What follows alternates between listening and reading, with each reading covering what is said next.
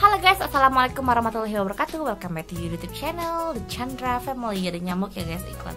Oke guys, sesuai dengan janji aku Aku bakal buat review masing-masing produk penunjang MS Glow. Jadi yang pertama kali itu produk yang wajib teman-teman punya itu adalah Acne Spot. Jadi Acne Spot ini merupakan spot atau uh, kayak cairan atau serum ya yang digunakan yang fokuskan untuk mengobati jerawat kita. Jadi ketika kita butuh misalkan kayak ada nih uh, mulai kemerahan di wajah kita kayak akan mulai tumbuh jerawat itu kita gunakan ini. Kita totolkan aja di spot-spot jerawat kita gitu. Jadi supaya jerawat itu cepat keluar cepat mateng terus dia cepat kering dan bekasnya juga cepat hilang. Jadi ini aku nyesel banget ketika aku kemarin penggunaan satu minggu tuh cuman pakai uh, yang pakai standar belum beli yang paket acne spot ini.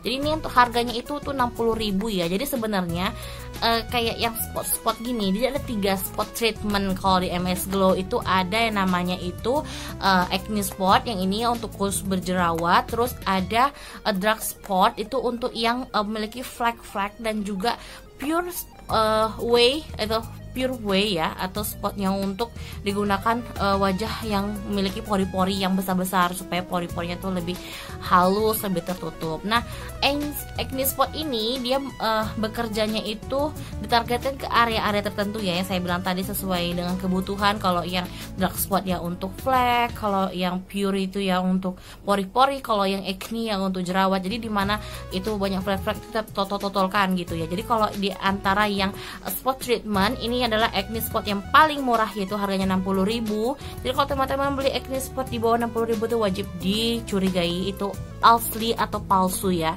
Karena se Indonesia itu kalau yang MS Glow acne spot itu 60.000 kalau dark spot itu 100.000 kalau yang pure away itu harganya 100.000 nah jadi teman-teman bisa uh, cek ya.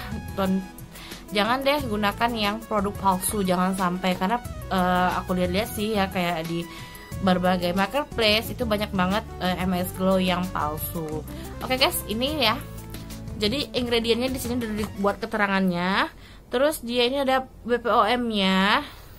Dan bahan-bahannya ini dia uh, teman-teman lihat ya ada niacinamide, ada salicylic acid dan juga ada uh, centella axiatica. Nah, ini kita buka ya. Nah, jadi dia seperti ini, guys.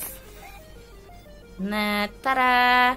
Ini lucu ya. Ini kayaknya hmm, mini banget tapi memiliki sejuta manfaat. Nah, kebetulan di wajah aku ini ada jerawat, jadi aku bakal uh, ini ya taruh di beberapa spot-spot aku yang berjerawat. Ini itu uh, datnya itu 15 gram. Jadi ya lumayan lah ya harganya juga. Kita taruh aja ya di bagian yang berjerawat di sini. Dan nanti ketika dipakai ya guys ini memiliki rasa sensasi yang sedikit nyelekit nyelekit atau kayak pedih-pedih sedikit kayak gitu tapi itu sebentar aja sekitar 5 menitan gitulah. Habis itu ya normal aja habis itu kayak enak aja gitu. Dan waktu itu sebenarnya aku udah beli dua spot nih sih.